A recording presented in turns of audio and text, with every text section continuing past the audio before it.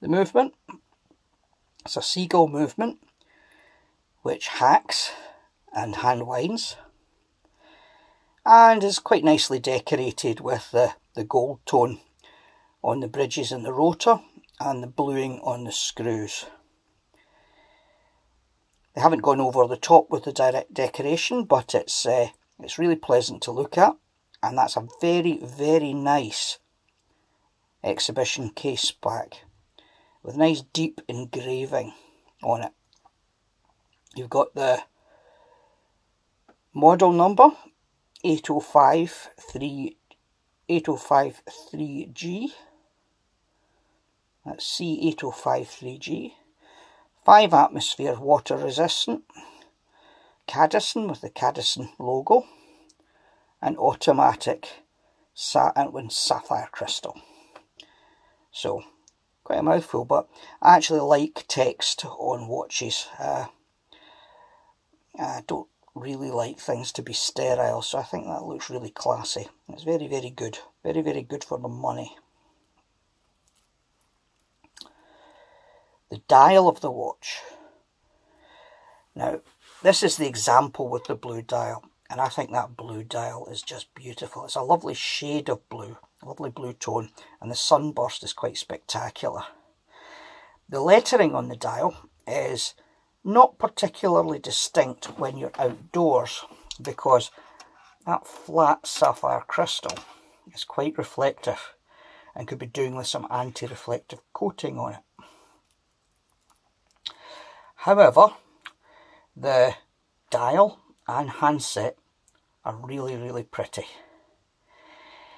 But, uh, we'll come on to it later, the hands, as you can see, are very slim which I don't think is a bad thing. I think it looks quite elegant, but there isn't an awful lot of lume there on the hands, and that has consequences that we'll be able to see when I'm showing you the faults with the with the, the watch.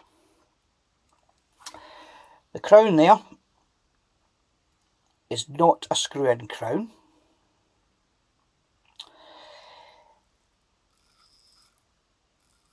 the watch hand winds and feels nice when you wind it. Not gritty as sandpapery as uh, some do. But it is only a push-pull crown with the in position, and the winding position. First position when you pull it out is the date change and the time changes when the crown is fully extended. So they're only claiming 50 metres of water resistance here and the fact it doesn't have a screw-in crown is probably a contributory factor to that but I'm not complaining and the the batons are all properly aligned and nicely fixed to the dial so there's nothing wrong with the finishing there. The fluting on the bezel is really nicely polished and machined, catches the light beautifully. No complaints there. It is a slightly thinner bezel than you see on the larger Pagani but I don't think the appearance of the watch suffers for that at all. Looking here at the concealed butterfly or deployant clasp. See the buttons to act activate it. Very nicely decorated, nicely machined and polished apart from that area across the middle there that's uh, has the nice machine decoration. This is a really good plus point on the watch because wearing it and sticking my hand in and out of pockets, I didn't have any accidental deployments of the clasp. So this is a really well executed clasp on the watch. Top marks to Cadisen for this one. The bracelet is nicely executed, all solid lengths, no sharp edges, very comfortable in wearing, and it has, you can see there, split pins for adjustment. Screws, I always prefer screws, they're nicer, but the split pins work perfectly well. And eh, I was able to adjust the bracelet without any issues at all. So this is a win as well. Couple of the links with a slight stiffness, which is not apparent when it's on your wrist, but I'm sure that'll ease off. In fact, Jubilee bracelets traditionally ease off a little bit too much, so I anticipate this will be no different to a Rolex original. But maybe since the, the links are steel rather than gold, it won't be such a problem. Anyway, bracelet, big win. The biggest issue that I found with the watch is, as quite often happens with Chinese homages, sharp bits. Usually these are on the bracelet, but in this instance, the bracelet is fabulously good. The problem here is in the corner of the lugs. That line there, to be specific, all four of them. This bit is very, very, very sharp. Now, you won't notice this while you're wearing the watch on the bracelet.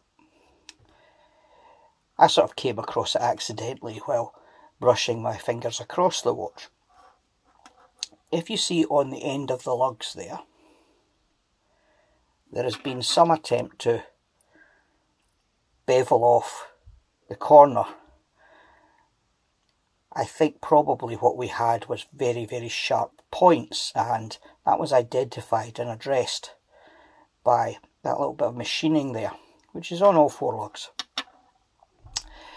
But what hasn't been addressed is the edge there. It's a very, very, very sharp line. You could you could chisel wood with it. Now I like to mix and match my watches. Now I'm probably going to keep this one on the Jubilee because this is actually my first Jubilee bracelet and I think it's absolutely wonderful. But at some stage I'm going to put this watch on a leather strap and this will then become an issue. It's not so bad Inside the watch, the, the, the underside of the lugs don't seem to be as badly affected.